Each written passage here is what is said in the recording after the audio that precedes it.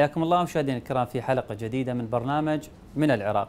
عاش العراق ثلاث سنوات من تاريخه الحديث حربا استنزافية ضد عصابات داعش الإرهابية التي عاثت في الأرض فسادا وقتلت وهجرت الكثير من العراقيين في المناطق التي كانت تسيطر عليها. هذه الحرب لم تترك أثرا سلبيا على الجانب الأمني فقط بل فتحت المجال والباب أمام التدخلات الخارجية في الشؤون العراقية، ومن أبرز هذه الدول هي أمريكا وتركيا التي تحاول قدر الإمكان تحقيق الأطماع العثمانية في داخل الأراضي العراقية. محاور هذه الحلقة أحبة المشاهدين سنناقشها مع ضيفي بعد هذا التقرير.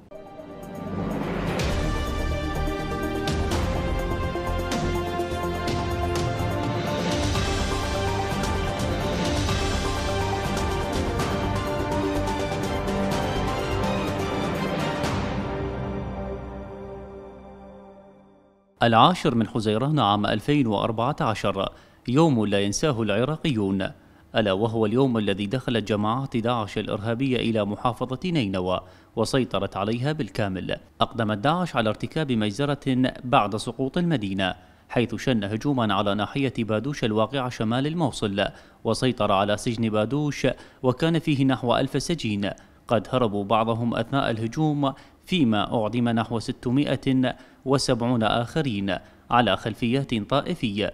جرائم داعش لم تسلم منها أي طائفة فقد قتل اليزيديين وسبى نساءهم وهجر المسيحيين وقتل آلاف العسكريين من الشيعة بعد توسعه في محافظة الأنبار وصلاح الدين وديالا وقد تشكل على إثر هذا الغزو الحشد الشعبي من قبل رئيس الوزراء نور المالكي الذي تنحى عن المنصب بعد أن منع من تولي ولاية ثالثة وإسناد المنصب إلى حيدر العبادي بدأت سلسلة من الضربات الجوية من قبل الولايات المتحدة وإيران وسوريا وبلدان أخرى وانتهت الحرب بإعلان الحكومة المركزية في بغداد سيطرتها الكاملة على جميع المناطق داخل الحدود العراقية. بمشاركة جميع القوات الأمنية من الجيش وشرطة الاتحادية والحشد الشعبي والبيشمركة الكردية إلا أن انتهاء الحرب على داعش لا يعني سيادة العراق في ظل الانتهاكات التركية المتكررة التي خلفتها هذه الحرب بذريعة حماية حدودها مع العراق حياكم الله من جديد. العراق من حرب داعش الاستنزافية إلى ضربات تركيا الاستفزازية. محاور هذه الحلقة أحبة المشاهدين سنناقشها وإياكم مع ضيفي السياسي المستقل الدكتور نديم الجابري. مرحبا بك دكتور. حياكم الله. فرصة طيبة. الله يبارك فيك. دكتور بداية نتحدث عن انتهاء داعش وهذه الأزمة التي مر بها العراق وسوريا وكذلك أيضا تواجد في المنطقة يعني لم ينتهي بصورة آه، نهائية. أكو تواجد لهذه العناصر في المنطقة. اليوم كيف ترى تاريخ 10 حزيران عام 2014 آه، بسم الله الرحمن الرحيم. يعني آه، داعش آه، منظمة إرهابية بلا شك في ذلك. نعم. نشأتها وتوسعها وتمددها على حساب دولتين قويتين وتملكان جيوش قوية مثل العراق ومثل سوريا. حقيقة كان أمر يعني يثير مجموعة من التساؤلات. طيب. آه، انطانا انطباع انه هاي المنظمة قطعا مغطاة دوليا. يعني لا لا يمكن أن تتمتع بقدرات ذاتية. يعني لا العدد لا العدة. تأهلها لاجتياح آه، مدن عراقية وإقامة آه، دويلة في العراق واجتاحت أيضا أراضي سورية. هذا من البداية كان عندنا مؤشر وأنا دائما يعني يعني أرجح آه، إنها صنعة غربية أكثر مما هي صنعة شرقية. أكو أيادي كانت تدعم. نعم يعني يقال إنه لا هي ولدت من رحم الطائفية والمشروع الطائفي في العراق، أقول صحيح هذه عوامل مساعدة. نعم. صحيح يعني هاي دول مثل التجربة العراقية اللي انبنت على أساس المحاصصات ودولة المكونات والأعراف الدستورية. أنا دائما أقول دولة المكونات قطعا دولة ترتبط بالظلم الاجتماعي لأنه مكونات ماكو مكونات متساوية بس أكو مواطنين متساويين. من ماكو مكونات متساوية إذا المكون الكبير يأخذ حقوق المكون الصغير وهذا يصير آه، علة أو نقطة ارتكاز لمنظمة إرهابية مثل منظمة داعش لكي تستثمر هذا الظرف. طيب. ولذلك يعني أنا كنت أتمنى يعني آه، آه، عشرة حزيران هاي المناسبة اللي فرح بها أهل العراق وربما الأغلب العالم فرح بهذه النتيجة. لكن كنت ألوم بعض الجهات. أقول النصر مو فقط عسكري. النصر يجب أن يكون نصر سياسي. النصر السياسي هو مراجعة التجربة اللي قامت في العراق ومراجعة قضية دولة المكونات حتى لا تكون أيضا سببا لولادة منظمة إرهابية أخرى تستغل مظالم هاي الطائفة أو تلك.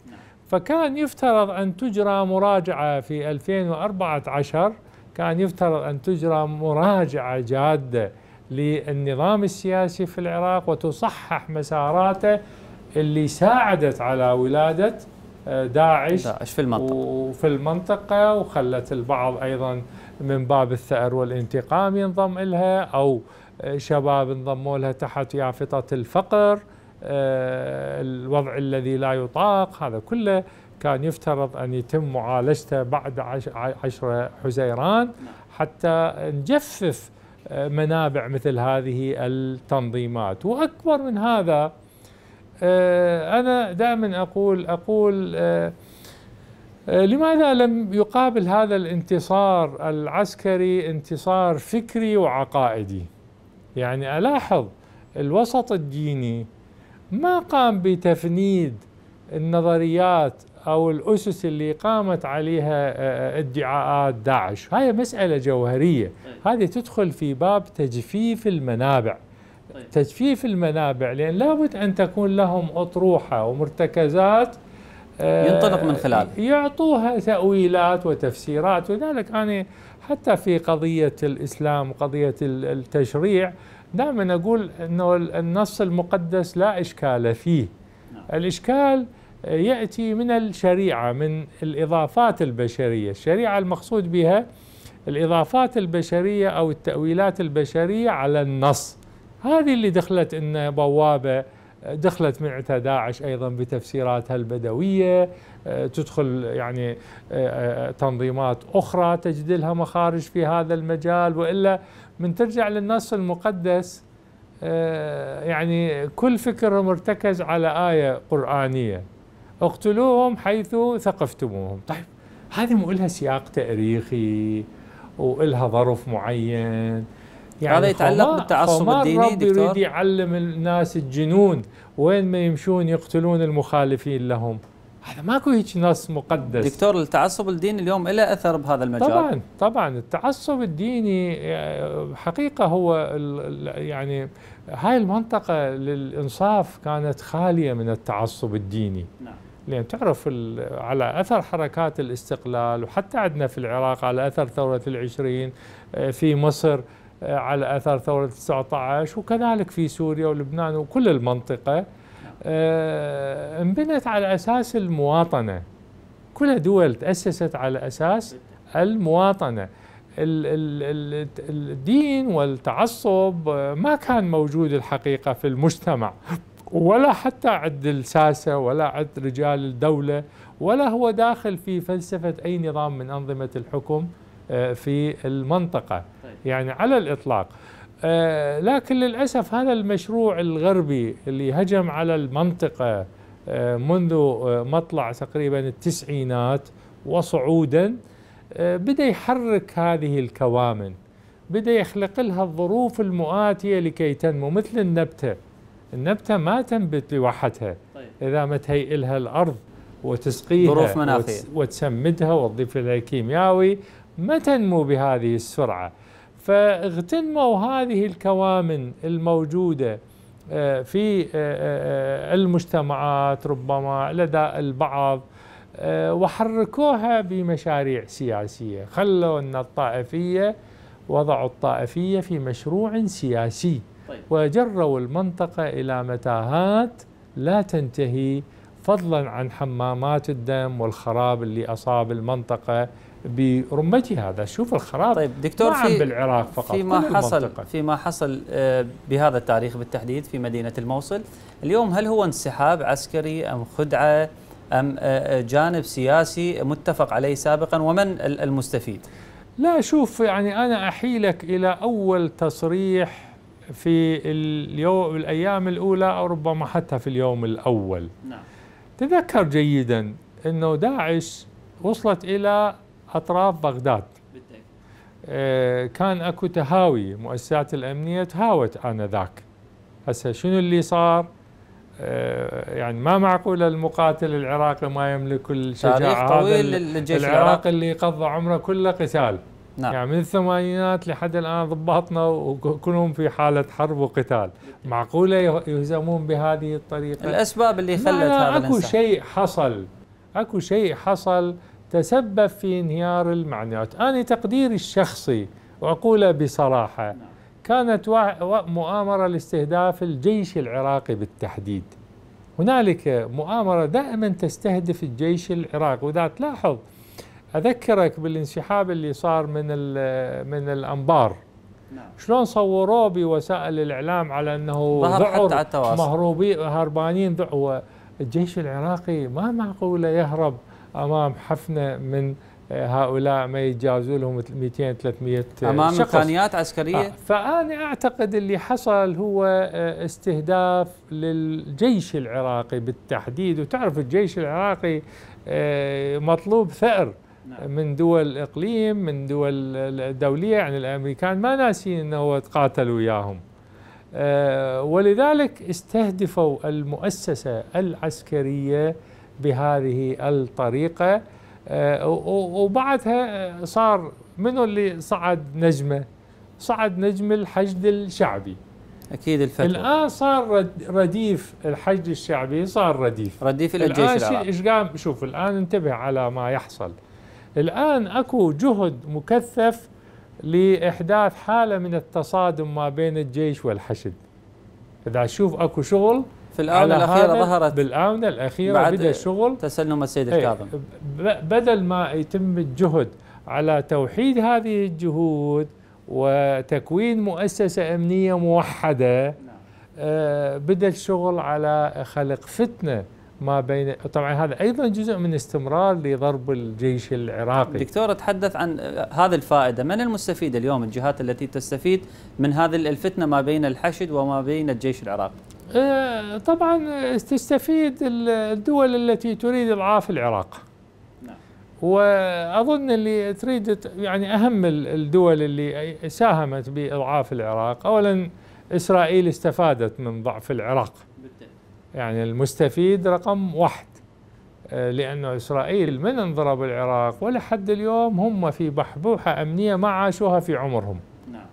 أنت تعرف آه، آه، وفروا من موازنة الدفاع من انهار العراق من موازنة العراق وفروا ما يقرب من حوالي 15% من موازنة وزارة الدفاع.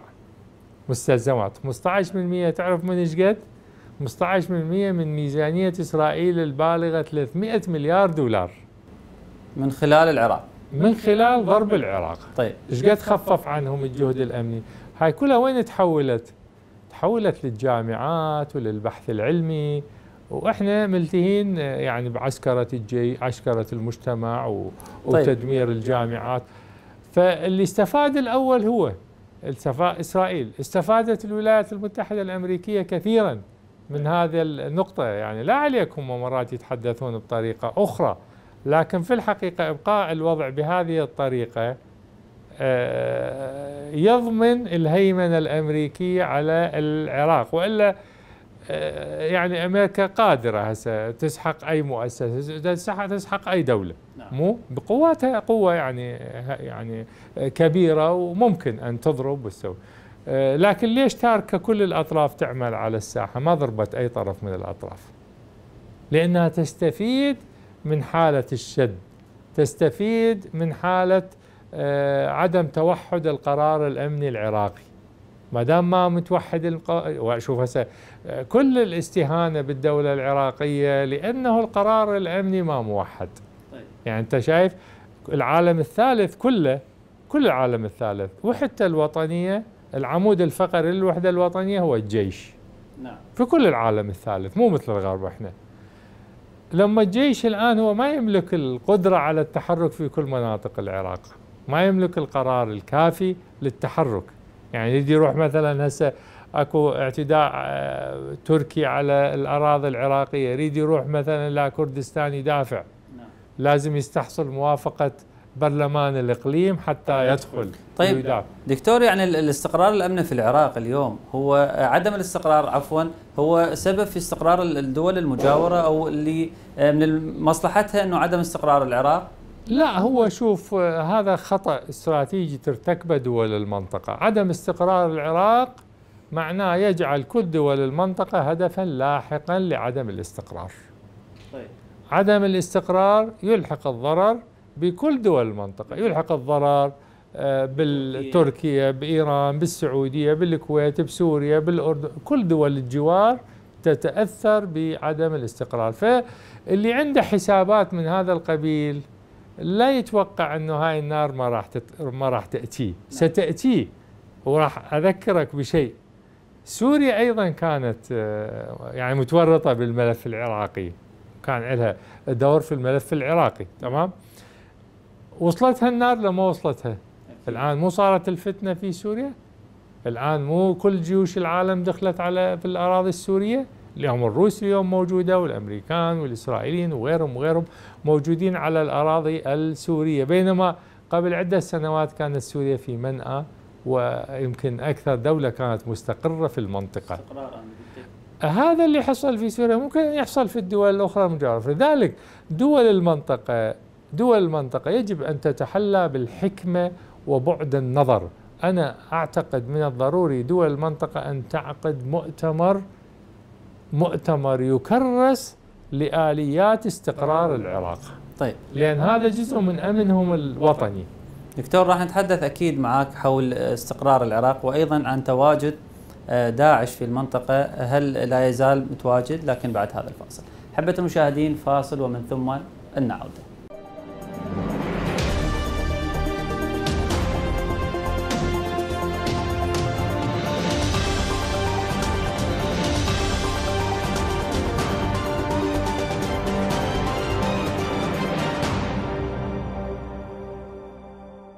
رجعنا لكم محبة المشاهدين بعد هذا الفاصل. أرحب بك من جديد دكتور. اليوم نتحدث عن آه، تواجد داعش في المنطقة. هل لا زال متواجد؟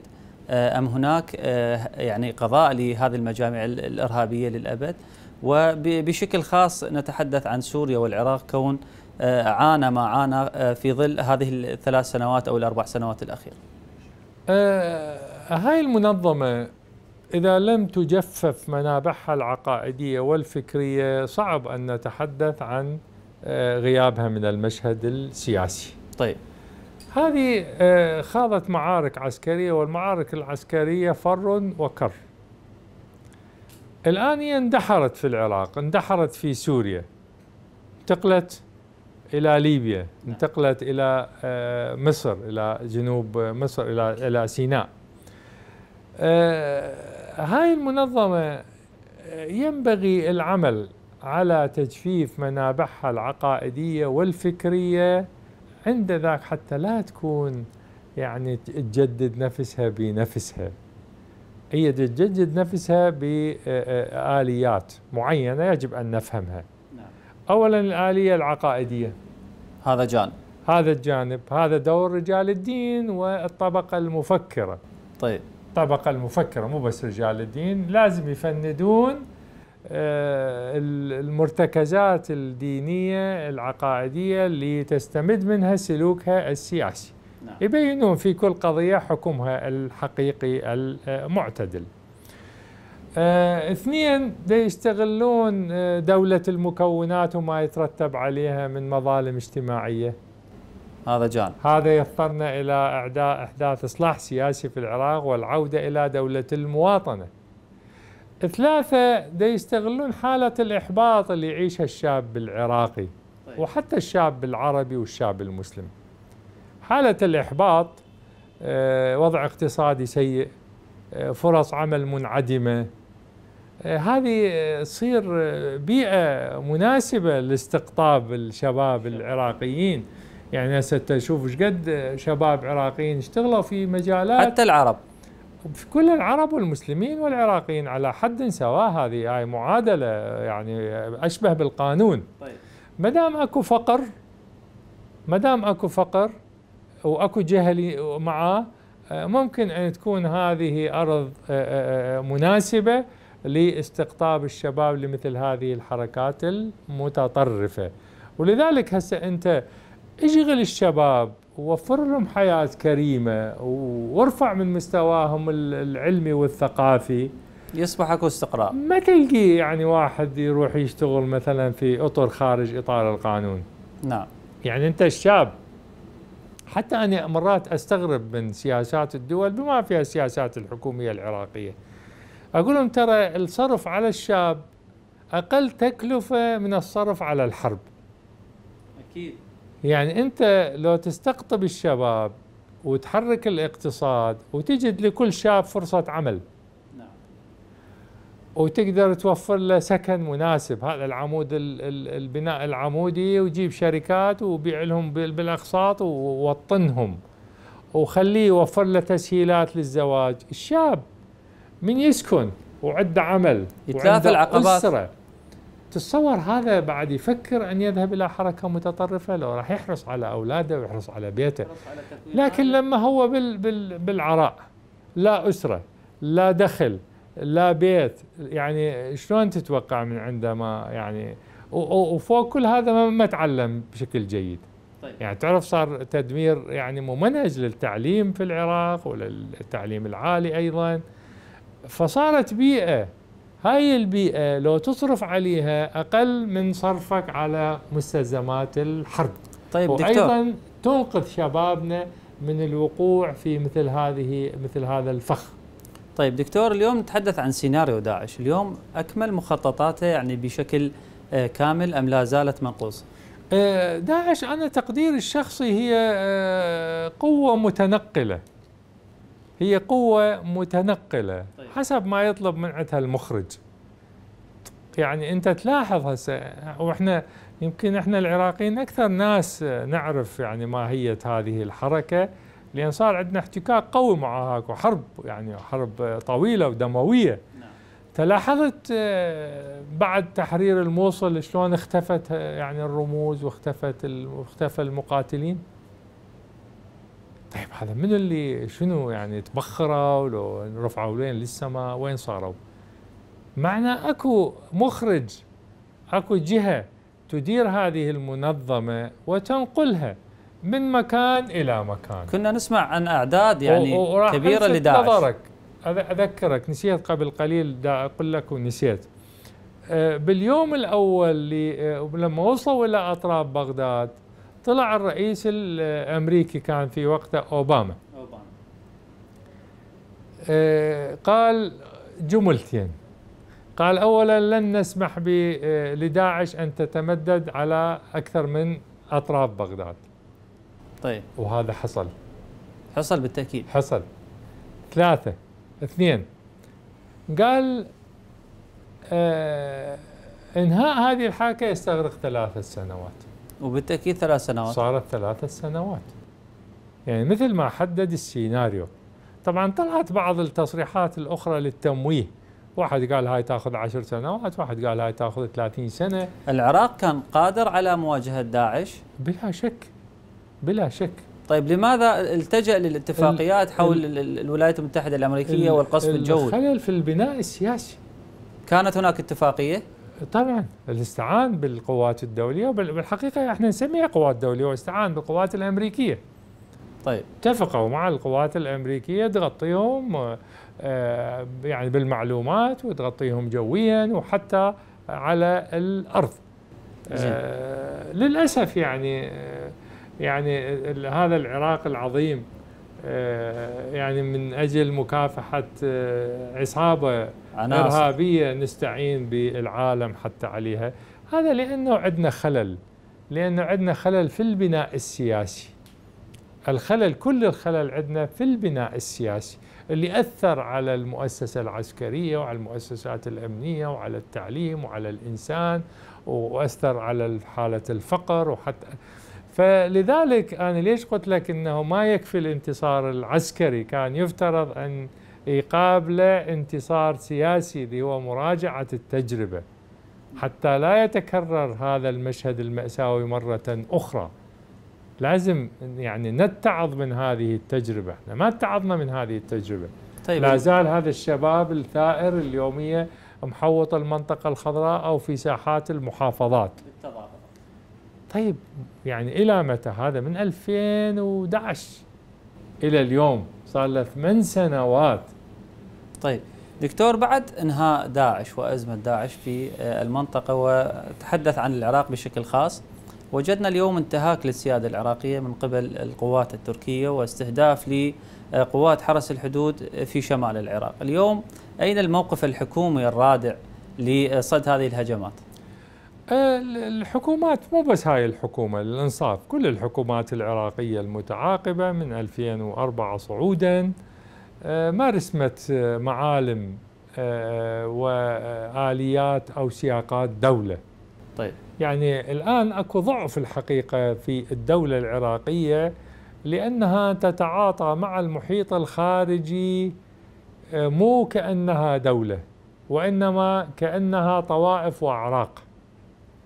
يعني من يدخل الجانب التركي بعضهم يأيده زين. وبعضهم يكون ضده. من يتدخل الجانب الإيراني بعضهم معه وبعضهم ضده. من يجي الجانب الأمريكي بعضهم معه وبعضهم ضده. يا أخي هاي مو سياقات دولة. سياقات الدولة أي طرف خارجي لا يجوز أن يتدخل بالشأن العراقي ولا يجوز أن ينتهك السيادة العراقية مهما كانت تسميته ومهما كانت صلتك انت الطائفية أو العرقية فيه.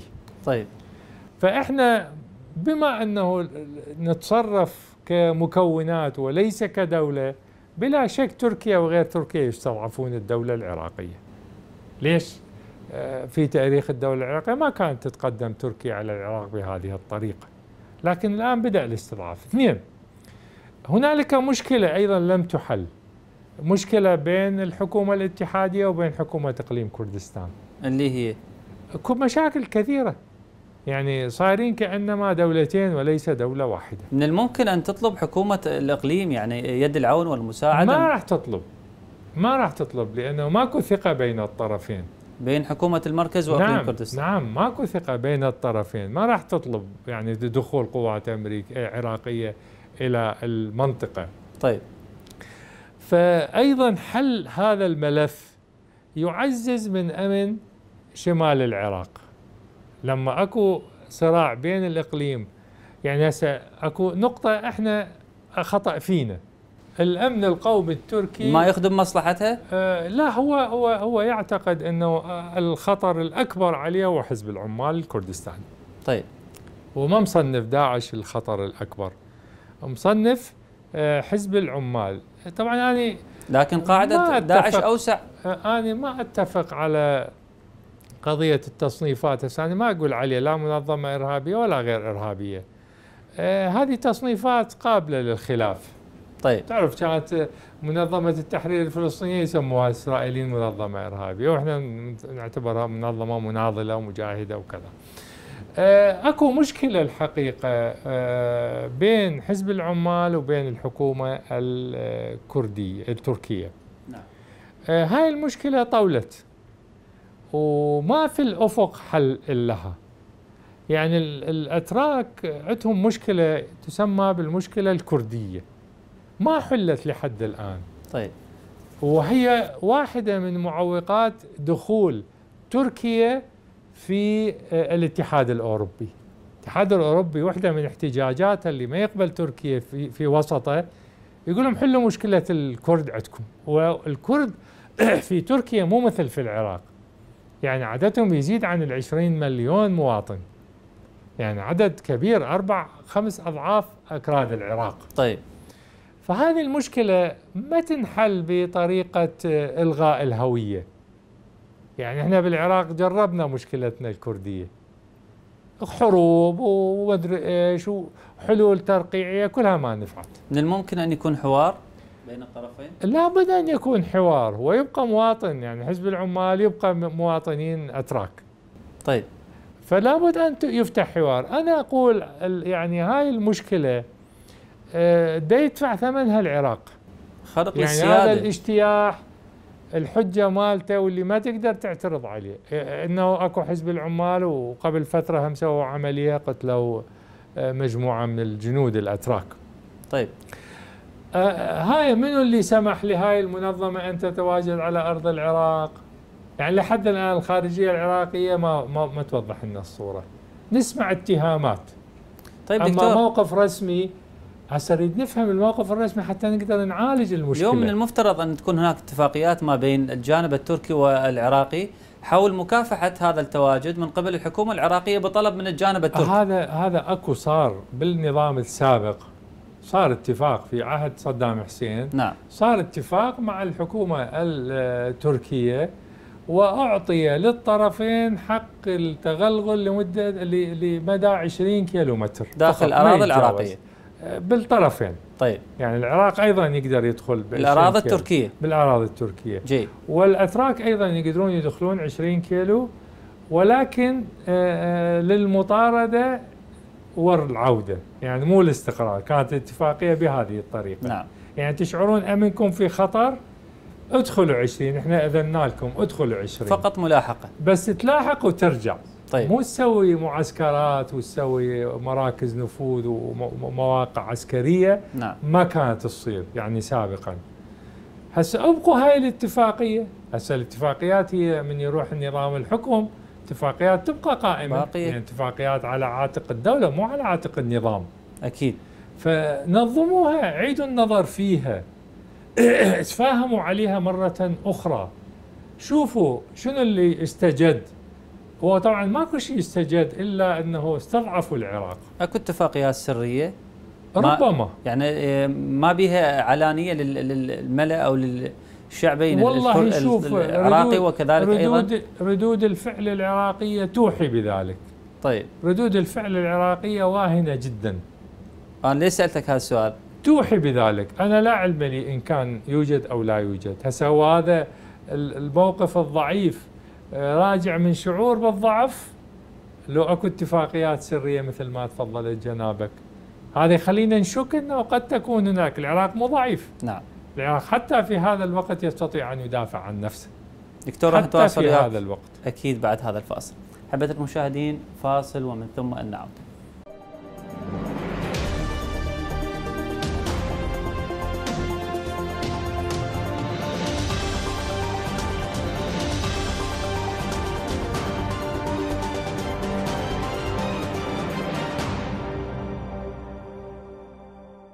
رجعنا لكم محبة المشاهدين بعد هذا الفاصل. أرحب بك من جديد دكتور نديم. حياكم الله. دكتور هل لا زالت الأطماع التركية والعثمانية في المنطقة حاضرة؟ وتسعى الحكومة الحالية التركية من خلال تحقيق هذه الأطماع في داخل الأراضي العراقية؟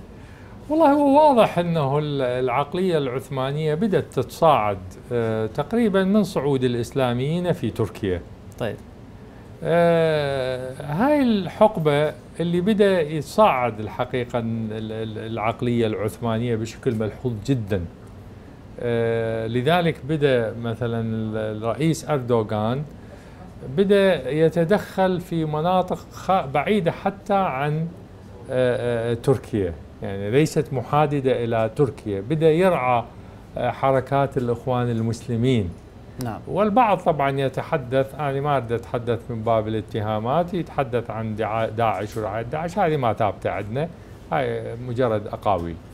لكن الثابت عندنا هو دعم الحركات الإسلامية يعني مجاميع الإخوان المسلمين مسلم. سواء في مصر علاقته ساءت في مصر لأنه المصريين أسقطوا الإخوان المسلمين خلال سنة آه، واحدة.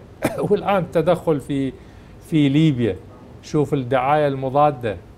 ترى انتهت سياسة الباب العالي أطراف الليبية. نعم. آه، من يتحدثون. معناش أدركوا أن العقلية العثمانية وصلتهم.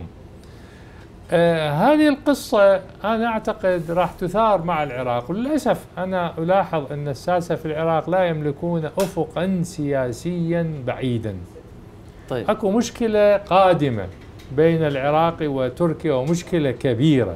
اللي هي, هي, انتهاء نفاذ اتفاقية الموصل. لي عام. عام 2023 تنتهي الاتفاقية. تنتهي الاتفاقية. طيب. زين ماذا نعمل لو أنها طالبت بولاية الموصل اللي هي تضم الموصل وكركوك وأربيل وسليمانية وأدهوك؟ ماذا أعددنا لو أنها وضعت اليد عليها؟ لو اجتاحتها دكتور هذه؟ هذه مشكلة. طبعا. هاي يعني هاي تعرف إنه بها بعد قانوني. اتفاقية أنت بالتأكيد. أنت محدد لها سقف زمني 100 عام. راح تروح كل المنجزات اللي قدمها فيصل الأول الله يرحمه. هذا الاتفاقية في زمن الملكية؟ السعيد. اي نعم. فيصل الأول ونور السعيد اللي عقدوها. طيب. يعني هم يعني آه اللي أنتجوا هذا الاتفاق واللي ضمنوا خمس محافظات عراقية ضموها إلى العراق. آه هذه مشكلة قادمة. راح تبين بها العقلية العثمانية أكثر لأن هم يعتقدون هاي بعد هي جزء من أترا يعني جزء من أملاك تركيا. و- و- وألفت نظرك إلى قصة قانونية. نعم. آه، بالهدنة هي هاي الأجزاء ظلت ضمن ضمن الأراضي التركية بالهدنة والإنجليز احتلوها بعد الهدنة. فذلك نعم. هم ما يعترفون بقانونيتها. ولا بقانونيه ضمها إلى العراق. طيب. ولذلك آه، يعملون على استعادة هذه المنطقة بأي شكل من الأشكال وأنا أعتقد هذه مشكلة آه، قادمة. ولذلك أنت تشوف يعني تصور أنت مشكلة المياه في العراق. ويوميا يقولون راح نملي سد آه، أليسو. أليسو. نعم. يعني هي القصة صدق يعني هم محتاجين سد أليسو بحيث يقطعون عنا الماء يقطعون الماء عن سوريا. اللي هو اللي هي ورقة سياسية. هي ورقة سياسية تستخدم. طيب. حقيقة ممكن أن تنظم القصة يبنون السد وممكن أن تصل آه، حصصنا المائية بشكل طبيعي. نفس القصة الآن تتكرر في بين مصر والسودان وأثيوبيا. اليوم على آه، نهر النيل. شنو أثيوبيا؟ هسه يعني صدفة بدأوا يفكرون نريد نسوي سد مثل سد أليسو. اكو أكو محركات دولية طيب دكتور، تخلق مشاكل. اليوم اقتراب هذا الموعد موعد الاتفاقية ما بين العثمانيين والجانب العراقي هو سبب آه، جعل تركيا آه، تتوغل داخل الأراضي العراقية؟ قد يكون هذا واحد من الأسباب. آه، تعرف اللي يتواجد على الأرض يتواجد على الأرض نعم. آه، ورقته التفاوضية تكون أقوى. بالتأكيد. لذلك أكو مبدأ في إدارة ال- المفاوضات. يعني مفاوضات من تجري شلون تنكسر إرادة الطرف الآخر؟ مرات بالمفاوضات هذا يعند والطرف الثاني يعند. ما يصلون الحل. من اللي ينتصر بالنتيجة؟ اللي عنده قدرة على العودة للميدان.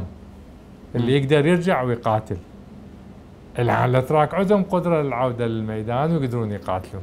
طيب. من الممكن أن تدخل أطراف خارجية في هذا المجال؟ ممكن ممكن. لحل هذا هذه الأزمة؟ ممكن ممكن تدخل المنظمة الدولية. نعم. ممكن تدخل بريطانيا باعتبارها هي الراعية وممكن يتحرك الجانب الأمريكي. نعم. حتى لا تحصل مشكلة كبيرة في العراق. بس يعني أنت تلاحظ الدبلوماسية العراقية والسياسة العامة الحكومية ميتة في هذا المجال؟ تسمعت فد وفد. دا يتلافى هذا الأمر قبل أن يحدث؟ شفت موقف حكومي عراقي أو دبلوماسي حتى أو الآن شيء لم يصرح. تحرك على العالم وقال يابا خلينا نتلافى الأزمة اللي ممكن أن تندلع بيننا وبين الأتراك عام 2023 تا 2023 يعني فتح غمض راح تجيك. ثلاث سنوات. راح تجيك. غير تعد لها العدة. غير تحرك تحرك ماكنتك الدبلوماسية والسياسية وتحرك وثائقك وتهيئ ملفاتك. آه، لأن هذا ملف صراع مؤجل. طيب دكتور حتى وهذا هذا هذا قد يشعل حرب. يعني هذا هذا مو قصة خلاف مو توغل تركي آه، يطارد حزب العمال. ضم أربع محافظات. هذا يعني جزء من العراق ربع العراق تقريبا آه، يمثل هذا الجزء. طيب دكتور حتى الآن آه، لم نسمع موقف أو بيان للحكومة الكردية في أربيل بما يخص التوغل التركي في داخل الأراضي العراقية. السبب اليوم آه، الحكومة الكردية حكومة الإقليم. أولا خلينا نحكي اللي بصالح. طيب. هي المسؤولية الأمنية في واقع الحال هي مو بعاتقها بعاتق الحكومة الاتحادية. قادرة يعني الحكومة الاتحادية أن تدخل يعني داخل الأراضي الكردية؟ دستوريا دستوريا أمن الحدود أمن الحدود بيد الحكومة الاتحادية. هسه ال ال ال ال القوات الكردية يعني هي اللي تدير هذا الملف هذا معناه أكو قصور وعجز في الحكومة الاتحادية. ولا الأصل كل حدود العراق يجب أن يمسكها الجيش العراقي. هذا هذا هذا هذا سياقات كل دولة من دول العالم. طيب.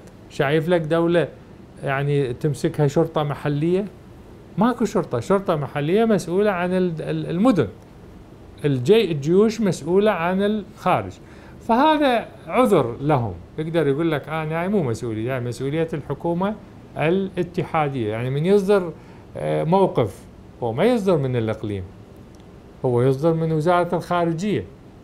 إذا تريد تقدم شكوى لمجلس الأمن خو مال آه، حكومة الإقليم تقدم الشكوى؟ ما حد يشكيها. طيب. أنتوا دولة أنتوا حكومة مو حكومة يعني مو دولة مستقلة حتى تقدمون. فعدم وضوح العلاقة ما بين الحكومة ليش في مستهل هذا الحديث؟ قلت لك واحدة من استضعاف الدولة العراقية هي سوء العلاقة ما بين الحكومات الاتحادية وحكومات الإقليم. الإقليم. هاي واحدة من الأسباب. طيب. آه، فالمشكلة مشكلة حكومة اتحادية مو مشكلة بس هذا ما. يجعل الأمر أن آه، تصل أنقرة إلى آه، تعدي وتخطي الخطوط الحمراء في داخل الاراضي العراقية وانتهاك السيادة. مو أنا أقول شوف أنا من من فترة طويلة قلت هو خلينا نحدد مصالحنا ويحددون مصالحهم. إحنا عندنا مصلحة جوهرية مع الأتراك، عندنا تبادل تجاري نعم واسع وعندنا آه، قضية المياه. هاي قضية حيوية تدخل بالأمن ال- الوطني العراقي. حتى الجانب الاقتصادي. والجانب الاقتصادي. آه، آه، بوابة ل- تركيا بوابة من نعم. بوابات الاقتصادية للعراق. طيب. فعندنا هاي القضيتين إحنا الأساسية. هم أيضا عندهم قضيتين أساسية. عندهم قضية اقتصادية. يردون الأسواق العراقية تبقى مفتوحة أمامهم. وعندهم قضية أمنية. يردون ينهون ملف حزب العمال من كردستان. الأراضي العراقية. طيب. هذه القضيتين. فأكو قضايا إحنا قادرين على مساعدتهم فيها. يعني لابد أن يحصل تفاهم بين الحكومة العراقية وبين الحكومة التركية على وضع حل لمشكلة حزب العمال. خو ما يبقى حزب العمال وبال على العراق ووبال على تركيا. أكو فائدة من قبل حزب العمال كردستان وتواجده في داخل الأراضي العراقية للحكومة العراقية؟ ما مستثمرين يعني والحكومة العراقية حتى أوراق الضغط ما تستخدمها.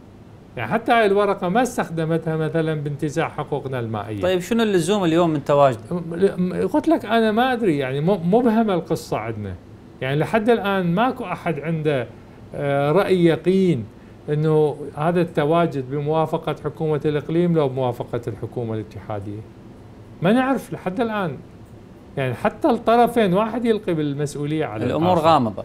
غامضة نعم. طيب ليش غامضة هاي السيادة العراقية. السيادة العراقية مو اختصاصكم أنتم الحكومة الاتحادية. هسه حتى اذا حكومة الإقليم هم تروح تتفاهم وياهم. يابا أنتم مثلا ليش هالشكل؟ هاي قصة المفروض إحنا نوافق عليها. فهذا الملف لا لازم يحل يعني يتم تسويته مع الجانب التركي آه، بطريقة أو بأخرى. العراق ممكن أن يبقى سوق مفتوح أمام البضاعة ال- آه، آه، تركية. التركيه وممكن للعراق أن يستخدم نظرية المنفعة في حل إشكالاته مع تركيا. يعني مثلا يبقى الأنبوب النفطي لتصدير ال- العراق يمر عبر الأراضي التركية. هذا تستفيد منه تركيا كثيرا. طيب. ممكن عقد صفقة معاها على غرار ال- الاتفاقية اللي حصلت مع الجانب الأردني. يعني تزويدهم آه، بنسبة من النفط بأسعار مخفضة. هذا كله مو مجانا. العراق مصدر للجانب التركي من ناحية البترول؟ إي طبعا. يصدر له. عبر آه، جيهان؟ البلي. فالعراق يستطيع أن يلعب هذه الأوراق.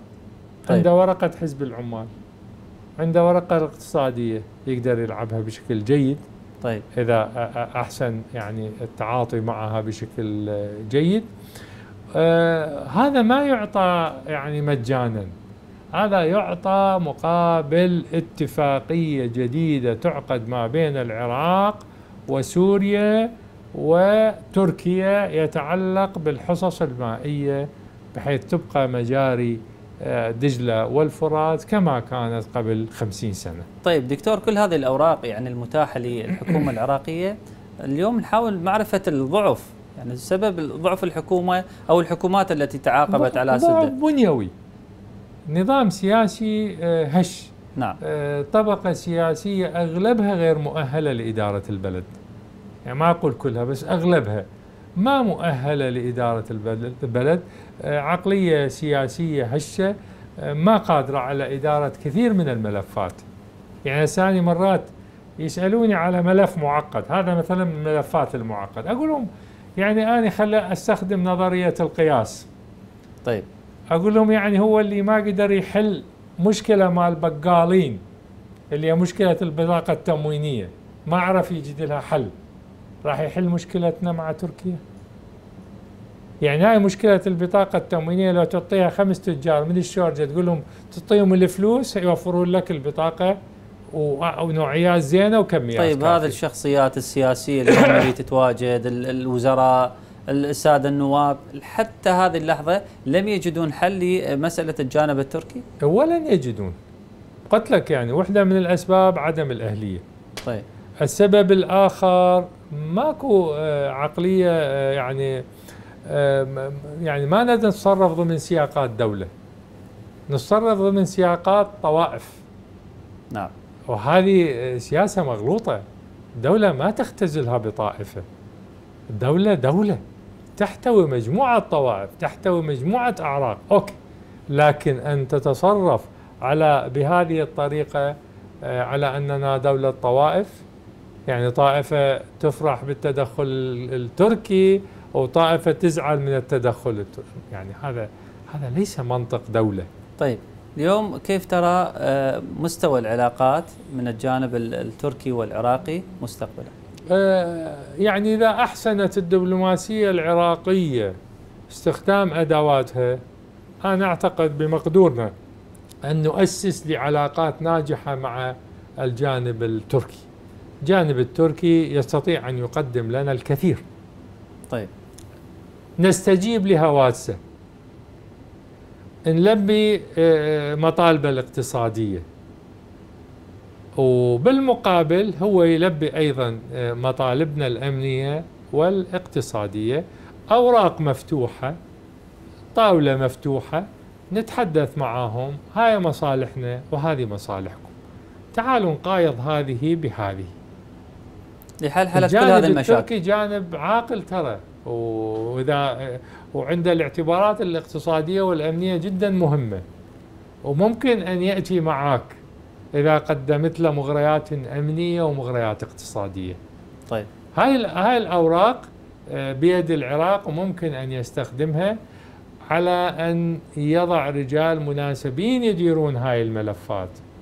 مو هاي الأحزاب أتباع هاي الأحزاب يديرون هاي الملفات. رجال دولة محترفين يديرون هذه الملفات بمهارة. المفاوض أنا إحنا نسمي في العلوم السياسية المفاوضات نسميها أيضا نوع من أنواع الحرب ولكن بصيغ سلمية. فالحرب تحتاج إلى أدوات. أكيد. أنت تتفاوض مو تروح بلا أدوات. لازم عندك أوراق تلعبها وتملك القدرة للعودة للميدان. إذا انغلقت أبواب المفاوضات. فأنت شو وقت راح تقدر ترجع للميدان وأنت السلطة الأمنية مجزأة والسلطة السياسية مجزأة وصراعات سياسية على أشدها وصراع مكونات يعني آه، لملم وضعك الداخلي ولملم أوراقك واذهب مع الجانب التركي خوض معه آه، مفاوضات أحسن ما تصل إلى مراحل آه، لا يحمد عقباها. نعم السياسي المستقل الدكتور نديم الجابري شاكرين تواجدك معنا في هذه الحلقة. من برنامج. من العراق شكرا جزيلا شكراً فرصة لك. طيبة لكم الله يبارك فيك. شكرا نعم أحبة المشاهدين انتهت حلقتنا لهذا الأسبوع انتظرونا في الأسبوع القادم وحلقة جديدة من برنامج من العراق إلى ذلك الحين أستودعكم الله